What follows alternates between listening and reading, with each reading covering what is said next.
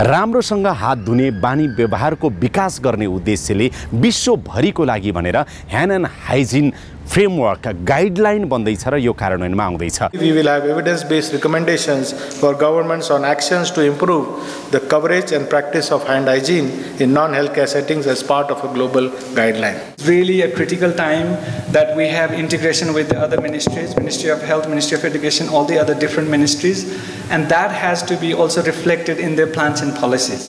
Existing public हेल्थको र वासको अनि एजुकेसनको अरू सेक्टरको प्रोग्राममा इन्टिग्रेसन गर्नको लागि चाहिँ मद्दत पुग्छ भन्ने लाग्छ public policy around hand hygiene. And so we're really counting on you to, to help inform the, the development of the guidance and the recommendations we make around public policy for hand hygiene.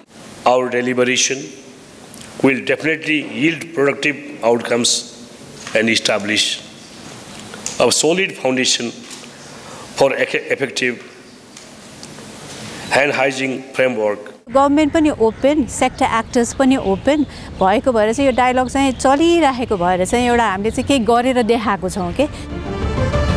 Talk of the Town.